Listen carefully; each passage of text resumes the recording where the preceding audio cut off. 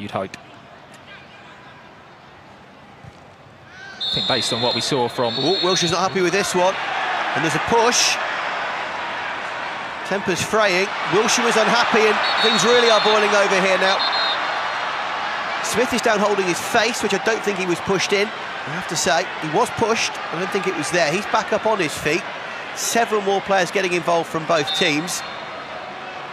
One of those that was particularly incensed was Tariki Wilson. Are we going to see any red cards brandished? We are. And Jack Wilshere, for his reaction to the foul, has been sent off. It is just a yellow card for the man who in many senses initiated the incident with the bad tackle. There's the bad tackle.